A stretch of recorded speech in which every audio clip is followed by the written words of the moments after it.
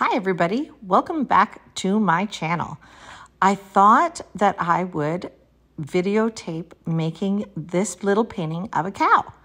And then I thought, oh my gosh, it's going to take so long to do it in real time. So I thought I'd speed it up.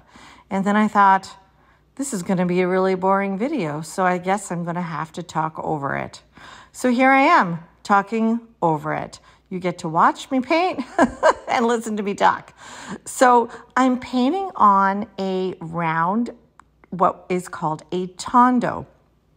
It's a piece of wood um, that is prepared by um, a company close, uh, Rustic Burl in a town near me, and I ordered a bunch because I'm in a special show called Pie Art Squared.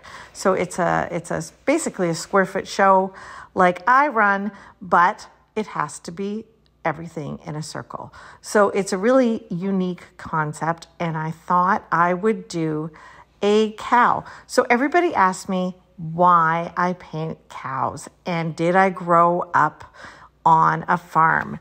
And I did not grow up on a farm. I was a city girl.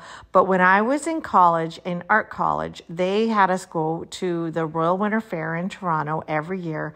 And I just loved painting the cows. They were just so much fun. So you're seeing here how fun the red paint receives my color. Lots of people ask me too, why do you paint on red? I don't know.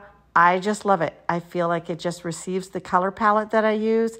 Uh, it gets rid of the scary white is always my first um, go-to answer, but I also love the way it receives the paint.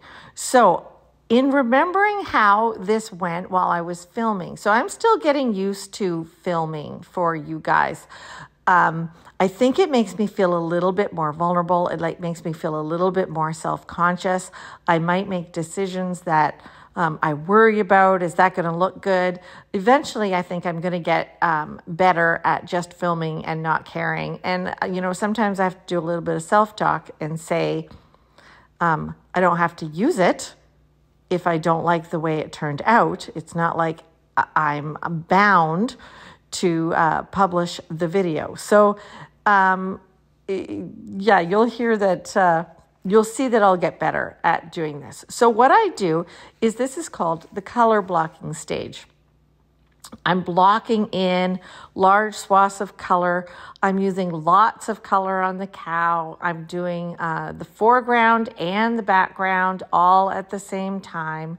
The cow is getting painted. So the, the side of the cow is that uh, that green color that I'm just putting down there if you're trying to figure out how this cow is is built.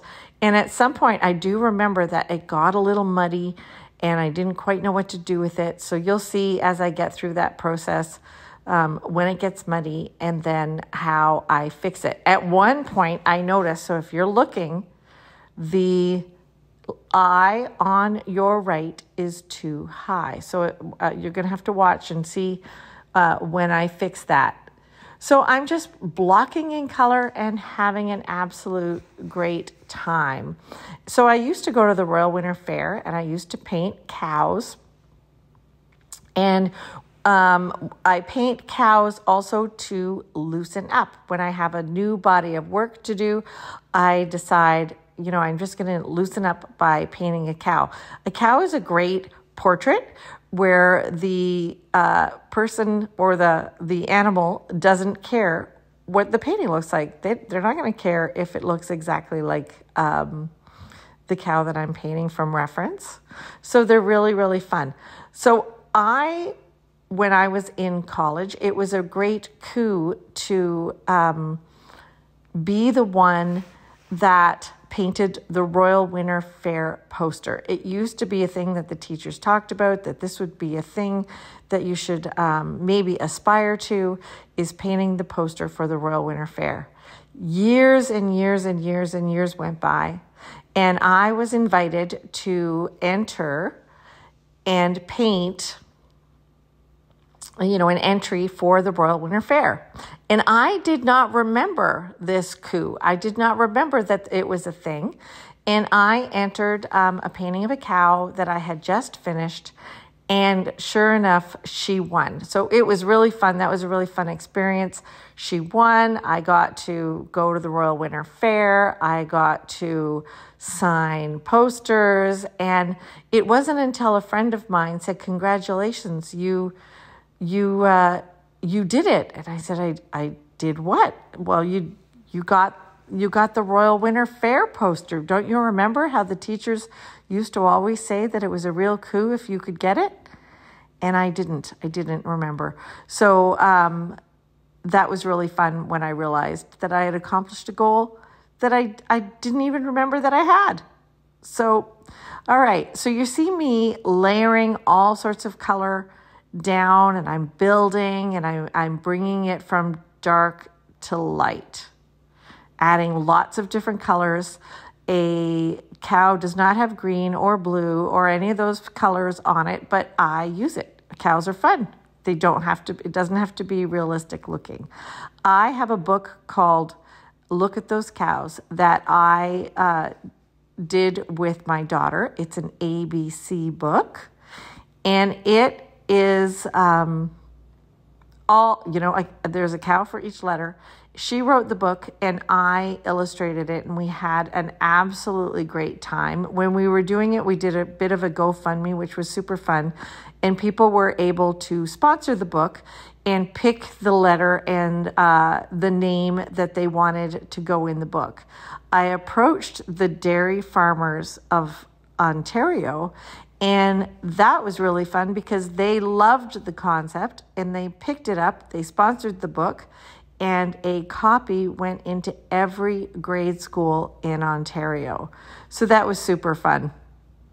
So here you see, now I'm just kind of kind of getting a little abstract in the background and I'm oh I'm putting little dots, making that little uh, shiny nose, uh, you know, the glisten. Um, my favorite thing to do is the dot on the eyes. When I get around to putting the dot on the eyes, that means I'm virtually done. So I thought I was done the painting and um, and I finished filming, but then I did a few more strokes. And stay tuned till the end, and I'll I will show the painting um, on a background that will pop it, and you'll see the few strokes that I added. And I, I think it's because I added them because I wasn't filming. I um I, I was looking at it and I felt it needed a few things and I did it instinctually instead of uh, filming it. So honestly, guys, I think I'll get I think I'll get better.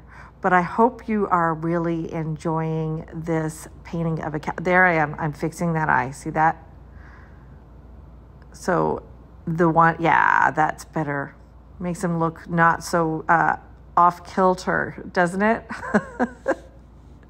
so my daughter wrote the book and it is a great book because all the definitions it's it, it, it's a book that even adults have to look up some of the words. And um, so i, I can uh, let me think if i can I, if i can quote it. Amos and addie are affably antsy. Hmm. And beckett's no i can't do it I'm going to have to read it. So um, you can find that book on my website and uh, order it. It's a great book. It's really fun. Uh, lots of people enjoy it. So I hope you're enjoying this um, video of the cow. I'm going to be quiet now and let you finish watching, and I'll maybe I'll even add a little music here. I hope you have an absolutely great day.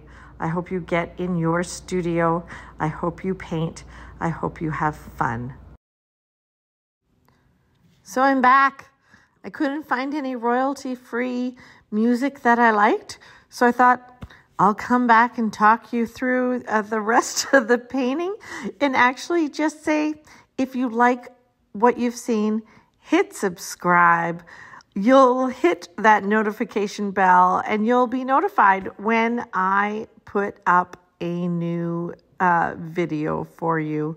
I hope you really did enjoy uh, watching this. If you have any questions, put them in the uh, comments below and I'll try to get to them and I'll try to answer as many as I can. I'm an acrylic painter. I'm from Hamilton, Ontario, and man, do I love what I do. Have a wonderful day. Paint a cow, paint a chicken, paint whatever you want. Talk to you soon.